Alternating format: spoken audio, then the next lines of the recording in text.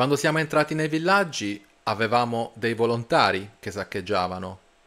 Una volta sono entrato in una casa, c'era un gabinetto e una doccia. Io non ho quelle cose. Capisci? Mi vergognavo di entrare, non paragonarmi agli altri. Io non sono come gli altri, garantito al 100%. Scusa, quindi non hai un gabinetto e una doccia a casa? Eh, non ne ho bisogno, perché dovrei averli a casa? Per stare a pulirli tutto il tempo? Il mio gabinetto è fuori casa. Eh, scusa, quindi fai i bisogni all'aperto? Eh, sì, io vivo in un villaggio, per me è normale, non ho bisogno di pulire il gabinetto tutti i giorni. E non voglio sentire puzza in casa perché qualcuno ha dimenticato di tirare lo sciacquone. Capisci? Sei serio? Quindi hai questo cubicolo di legno e sei contento così? Eh, sì. Ma sai come si usa lo sciacquone di un gabinetto, sì? Sai come ci si siede su una tazza? Eh sì, con il sedere, poggiando la schiena. Sì. Ma sai cos'è un orinatoio? Eh, sì, so cos'è. Eh, guarda, so adattarmi alla società, sono una persona decente io. Quindi parlavi di saccheggi, che, che cosa hanno preso i tuoi compagni? Hai detto che hanno raccolto dei volontari per il saccheggio nelle case ucraine. Eh, qualcuno ha preso telefoni, altri televisioni. Per quello che ho visto, alcuni sono entrati in casa e hanno preso un tablet, delle batterie. Io non avevo bisogno di quelle cose perché ho le mie. I soldati ucraini me le hanno prese, ma io non ho preso niente che non fosse già mio. Quindi, eh, cari amici, questa è una bella intervista, insomma, chiudiamo con questa intervista, chiudiamo il discorso di gabinetti e lavatrici, voglio dire, no? Fra l'altro, questo, questo soldato mi ha ricordato un tizio che ho conosciuto una volta, che aveva la passione per fare bisogni all'aperto, e lui si giustificava, era un padre di famiglia, voglio dire, si giustificava dicendo perché dovrei ammorbare l'aria a casa alla mia famiglia, no? Quindi avevo questa passione. Però, insomma, chiudiamo questo discorso. Anche perché penso che ormai sia abbastanza chiaro a tutti che molti soldati russi che si arruolano per combattere in Ucraina vengono da villaggi sperduti che non hanno le fogne, non hanno quel tipo di servizi.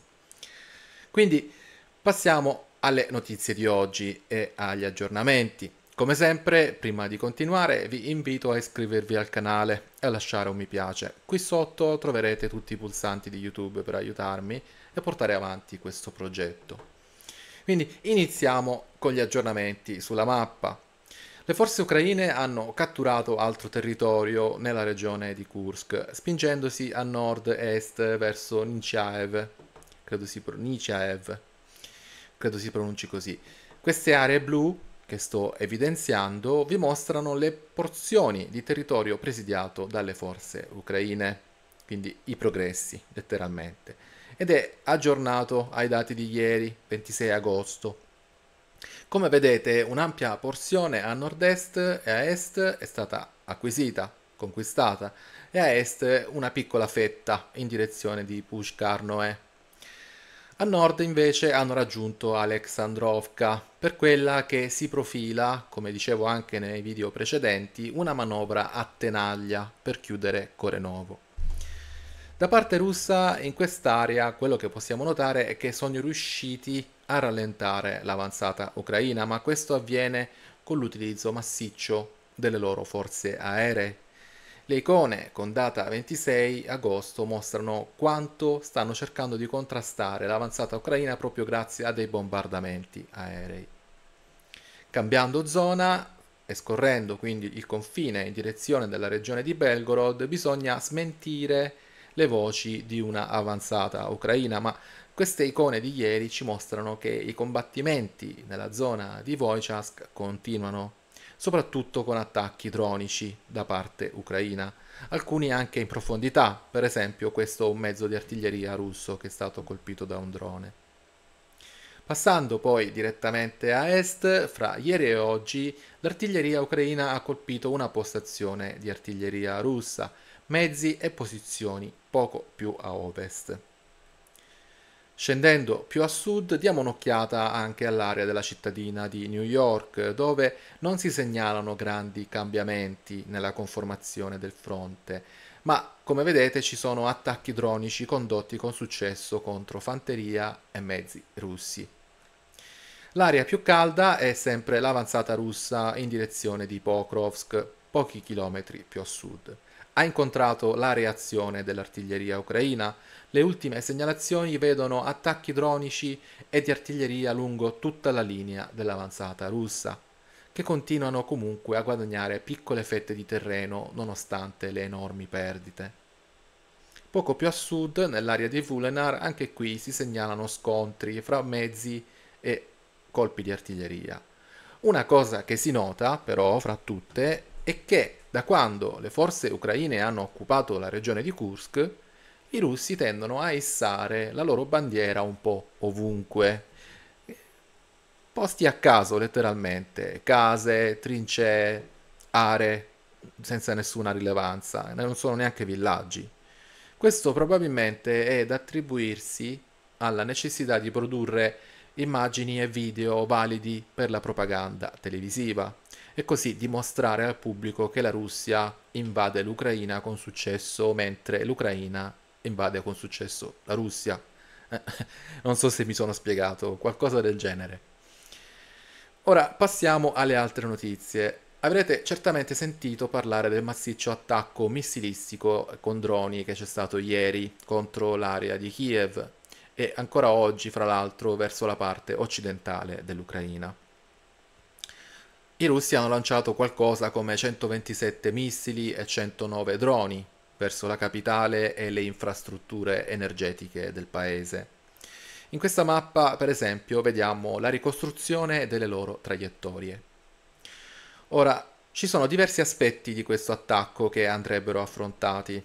Intanto la Polonia, nella voce del capo del comando operativo, il generale Maciej Sklitz, ha segnalato che un drone, un velivolo non pilotato, si è probabilmente schiantato in territorio polacco durante l'attacco all'Ucraina. È avvenuto la mattina di ieri, 26 agosto, un oggetto non ancora identificato è entrato nello spazio aereo polacco e apparentemente è atterrato in territorio polacco lo ha dichiarato il comando operativo dell'esercito. Si dice che non si trattasse di un missile, che apparentemente si, trovava, si trattava di un veicolo senza pilota. Presumibilmente è caduto vicino alla città di confine di Zerskovie e sono in corso le ricerche dell'oggetto. Come sappiamo poi per il resto l'attacco russo alle infrastrutture civili ucraine ha causato vittime, si parla di almeno sette morti e molti feriti. È stata presa di mira fra l'altro la centrale elettrica di Vyshrod che è stata colpita con danni minori. Ora, chiaramente è una grossa centrale, per distruggerla completamente servirebbero decine e decine di colpi a segno di questi missili Circolano invece immagini per cui alcuni di questi eh, droni e missili sono finiti in acqua. Un altro aspetto interessante di questo attacco russo è che è bene ricordare, fra l'altro, attaccare le, eh, le centrali elettriche è un crimine di guerra, eh, fra l'altro, eh, ricordiamolo.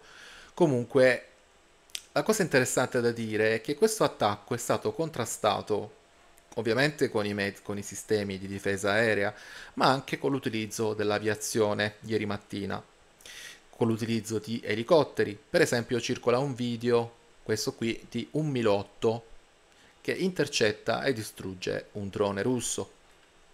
Ed è un video interessante, voglio dire, un, un elicottero che abbatte un drone.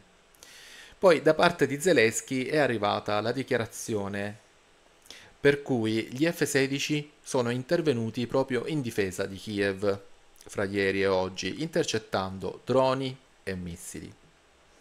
E circola fra l'altro un video di poche ore fa dove mostra un aereo ucraino intercettare un drone.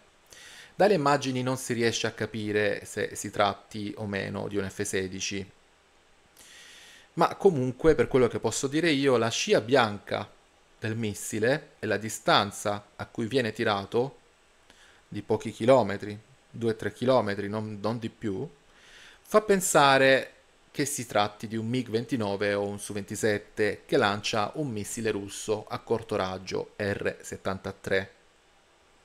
Dico questo perché eh, questi missili russi fanno una scia bianca molto visibile, cosa che gli AIM-9, a prescindere dalle versioni, non fanno, una scia molto più, diciamo, più tenue, non è così bianca.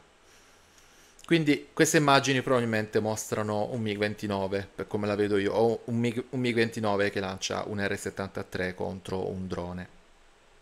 Ma andiamo avanti.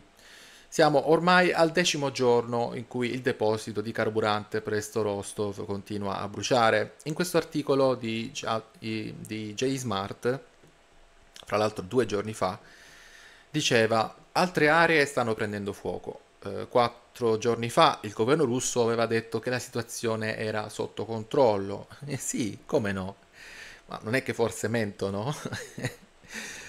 Altre due buone notizie poi per l'Ucraina, vi leggo questo trafiletto. Secondo la società russa Raibar, eh, mm, l'aeronautica militare rumena ha dispiegato un radar mobile LTR-25 al confine con l'Ucraina vi mostro le immagini per supportare l'aeronautica militare ucraina nell'area del Mar Nero. Ora è piuttosto normale che queste nazioni eh, piazzino i loro sistemi EVR, EVR significa Early Warning Radar, sono delle antenne che servono per il monitoraggio e la scansione dello spazio aereo. E questa è una cosa buona e giusta perché strumenti di terra sono disponibili sempre, voglio dire, solo, dipende da, da, quando sono accesi eh, e sono accesi sempre. Eh, insomma, se poi questi sono fuori dai confini ucraini non possono essere colpiti, quindi insomma forniscono una immagine molto chiara di quello che avviene su tutta l'area che vediamo evidenziata. Gli F-16 in particolare ucraini, essendo collegati al link 16 della Nato, possono vedere tutto quello che le forze NATO vedono fondamentalmente, si trasmettono i dati. E dobbiamo sempre ricordare che oltre a questi sistemi di terra, di cui tra l'altro anche gli ucraini dispongono, non è che non ce l'hanno, non dobbiamo dimenticare il ruolo fondamentale di tutti gli altri aerei logistici della Nato, che da oltre due anni e mezzo volano su tutta la parte occidentale del conflitto, fornendo informazioni importantissime per le forze armate ucraine. Andando avanti, notizia di due giorni fa, un nuovo gruppo di soldati ucraini si addestrerà in Germania all'utilizzo dei sistemi Patriot e questa è una buona notizia. Allora, altra notizia, questa volta di oggi, fresca fresca, vi leggo il trafiletto l'Ucraina ha condotto con successo dei test del proprio missile balistico, voce Zelensky. Uh, penso nei prossimi giorni avremo notizie più dettagliate di questo missile balistico, ovviamente è segretato, però è un'ottima cosa che gli ucraini producano i loro sistemi missilistici. Fra l'altro Zelensky ha anche affermato in questo trafiletto dicendo nessuno firmerà il contratto con la Russia per quanto riguarda la continuazione del transito del gas attraverso l'Ucraina. Questa è la fine, ha aggiunto. Mentre per quanto riguarda l'ultima notizia, eh, in chiusura avrete certamente sentito dell'arresto di Pavel Durov a Parigi, su cui pendono qualcosa come 12 capi di imputazione eh, ora io non mi occupo di queste cose, però hanno, diciamo, questa notizia ha un'importanza militare. Vediamo perché. Perché Telegram, diciamo, è stata utilizzata ed è utilizzata dalle forze armate russe. Vabbè, intanto bisogna dirlo, questi 12 capi di imputazione non sono stati inventati dall'oggi al domani. Telegram è stata una piattaforma senza nessuna limitazione o giurisdizione per qualcosa come 11 anni, cioè completamente fuori controllo. Diciamo che in linea di massima il fondatore si è fatto bello e miliardario fregandosene di qualsiasi legge internazionale, tutela sui minori, dei consumatori e di, oltre, di ogni genere di cose assurde che la piattaforma permetteva e non posso parlarne per le regole di YouTube, perché appunto queste regole su YouTube ci sono, fortunatamente. Quindi non è chiaro perché questo personaggio poi si sia letteralmente consegnato alle autorità francesi sapendo, insomma, di questi capi di imputazione. Ora, quindi i capi d'accusa verranno gestiti dalla giustizia francese, dato che fra le altre cose lui è anche cittadino francese, quindi non può scappare, non è che può, nessuno può chiedere l'estradizione. Eh, nel frattempo, però, in Russia si è sollevato un polverone, perché come dicevo, se qualcuno si ricorda, avevo trattato questo argomento anche nei video precedenti, avevo riportato che proprio le televisioni russe si vantavano di come le forze armate usassero Telegram per, us- per le geolocalizzazioni, per le trasmissioni di informazioni, eccetera, eccetera. Ed era un discorso un po' surreale, ma con una base di verità. Quindi è presumibile pensare che la preoccupazione di Mosca sia più che altro dovuta ad una eventuale collaborazione di Durov con le autorità francesi e quindi con la conseguente fuga di informazioni sensibili. Difficile dirlo, ma come dire queste sono solo le mie opinioni? O forse no? diciamo di no. Vi leggo questo trafiletto proprio di oggi. Il ministro degli esteri russo Sergei Lavrov ha affermato che le autorità francesi hanno arrestato Pavel Turov per ottenere l'accesso ai codici di crittografia di Telegram. Secondo il ministro degli esteri, la Francia ha preso tale decisione su consiglio di qualcuno. Ha anche aggiunto che le relazioni fra Mosca e Parigi sono al punto più basso, anche a causa della posizione della Francia sulla questione di libertà di parola, signori. Cioè, ah, ok, fantastico. Ah, comunque poi ha continuato la detenzione di Durov ha dimostrato che il messaggero è veramente protetto, ha affermato Lavrov.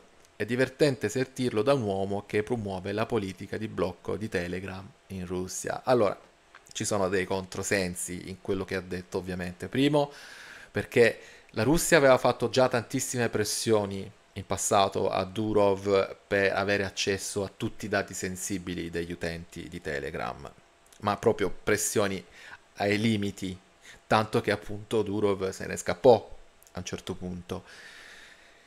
La Russia ha utilizzato poi in maniera massiva Telegram per acquisire informazioni, per trasmettere informazioni, quindi è chiaro che adesso ha paura che quelle informazioni vengano diffuse, ma è evidente che questi personaggi non hanno la minima idea di come funziona l'informatica perché è ovvio che chi vuole carpire informazioni protette no, non si fa fermare dalla crittografia di Telegram, non è la crittografia il problema, perché chi vuole accedere ai dati sensibili riesce comunque a farlo, che si tratti di eh, abilità degli uffici di intelligence occidentale o da parte di hacker è indifferente, comunque è nelle corde delle possibilità. Ci sono addirittura aeroplani NATO che possono fare questo tipo di ascolti su certe piattaforme e anche su certe frequenze. Comunque è proprio divertente questa ingenuità o stupidità palesemente dimostrata in queste affermazioni da parte dei politici russi. Non sanno che appunto il social media non è sicuro per definizione, voglio dire, nessuno si sognerebbe di usarlo per trasmettere informazioni militari critiche, ma si stanno svegliando oggi. Fra l'altro l'invasione dell'Ucraina era stata prevista e studiata nei minimi dettagli dall'intelligence americana, non è un segreto. I piani di quella invasione erano finiti sul tavolo di Zelensky mesi prima, quindi sape- gli ucraini sapevano perfettamente tutto il piano di invasione russo, tanto che poi si misero in moto proprio per contrastarlo. Comunque, in oltre due anni e mezzo di guerra, l'Europa, lo sottolineo, ha assetti militari che ascoltano e decriptano, l'Europa e l'America intendo, decriptano ogni genere di comunicazione russa, dalle comunicazioni via telefonino, via radio, attraverso i social, quello che è. Adesso si preoccupano di Telegram, fa abbastanza ridere. In tutto questo, fra l'altro, dopo l'attacco di ieri notte contro Kiev, che voglio dire, no, solamente Uti e Hamas avrebbero potuto fare di peggio. Dopo tutte queste vicende, l'arresto di, di, La, di du, Durov e le dichiarazioni di Lavrov, il fatto che Lavrov parla di libertà di informazione e di parola è abbastanza ridicolo e dopo gli attacchi massicci missilistici verso Kiev e le infrastrutture energetiche, che ricordo sono un crimine,